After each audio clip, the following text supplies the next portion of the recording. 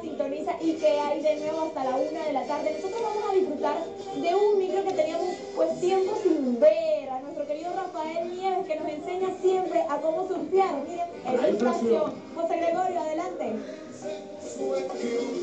Así es mi Venezuela bonita, son las 11.52 minutos de la mañana, eso quiere decir que dentro de poco ya vamos a disfrutar de ese delicioso almuerzo, usted está allí ya con el aliño, con todo ya casi listo, servido para disfrutarlo. Eventualmente nos toca enfrentar algunas situaciones, inconvenientes o problemas administrativos o financieros. Creemos sabernos eh, o poder encontrar una solución, pero nunca está buscar alguna respuesta en manos de profesionales. Por eso hoy te presentamos este nuevo micro de gerencia para todos con nuestro amigo Rafael Nieves. Disfrútenlo.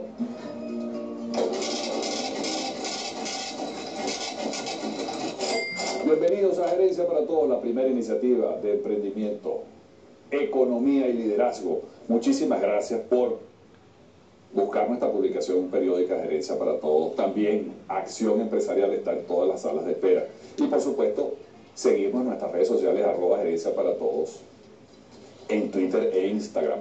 Mira, a nosotros nos encanta hablar de emprendimiento. Pensamos que es el futuro de la economía mundial. De hecho, mientras más emprendedores surjan, más éxito tendrán los países, específicamente en el caso del turismo. Por eso hoy nos acompaña la doctora Emma Villafañe, ella es abogado, pero también emprendedora, de un emprendimiento interesantísimo, turístico, en Venezuela, en el estado Barinas. Y quiero que nos hables de ese emprendimiento, por qué decidiste realizarlo, por qué en Venezuela ¿por qué elegiste ese emprendimiento en el estado llanero? Bueno, mi familia es de Barinas, nosotros somos todos llaneros y hemos tenido finca de, toda la vida, pues mis padres. Eh, de hecho, nuestra finca tiene como 30 años, hoy en día es Posada Agroturística Don Marcos. La posada la realizamos hace 7, 8 años más o menos, tiene inaugurada.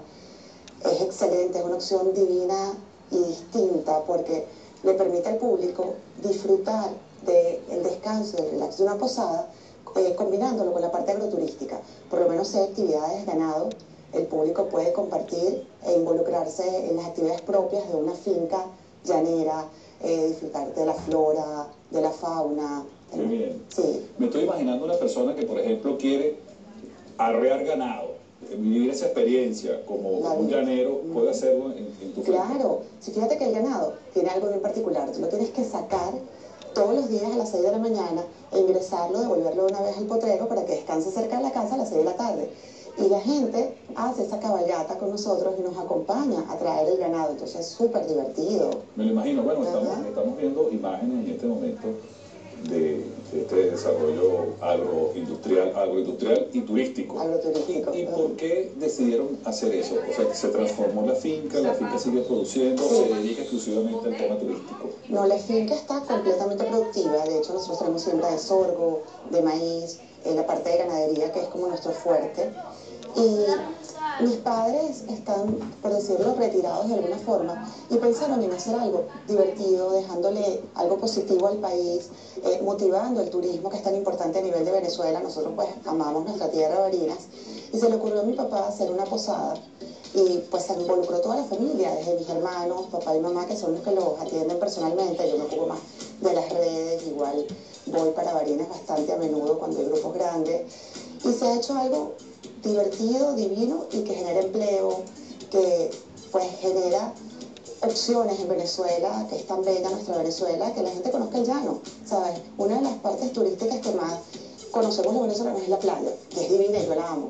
Pero qué rico tener otras opciones como el llano, como Mérida, que estamos tan cerca. y además, el, turismo, tú lo mencionaste, desarrolla la economía nacional, ofrece empleos y además es una opción internacional.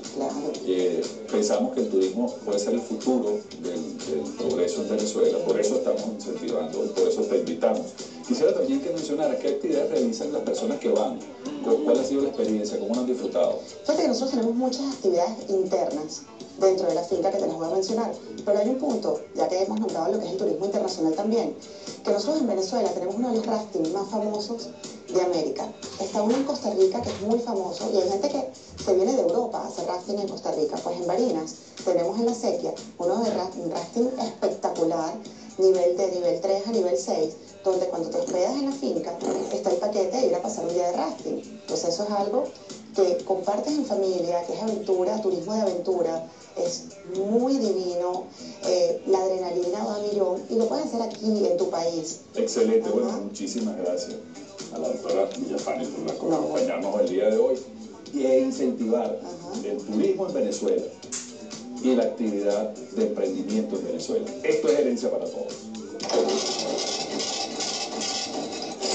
Allí lo tiene en Venezuela una nueva posibilidad. Definitivamente el turismo representa una de las principales fuentes de ingresos para muchos países y el nuestro tiene todas las, posibilidades, tiene todas las condiciones para lograr y conseguir esto. Así que bravo por los emprendedores que hoy deciden apostar en nuestro país y puntualmente en esta área, en el área del turismo. Yo voy a disfrutar de un delicioso café mientras ustedes disfrutan de este almuerzo y vamos de inmediato con el Coco y Adri Peolio.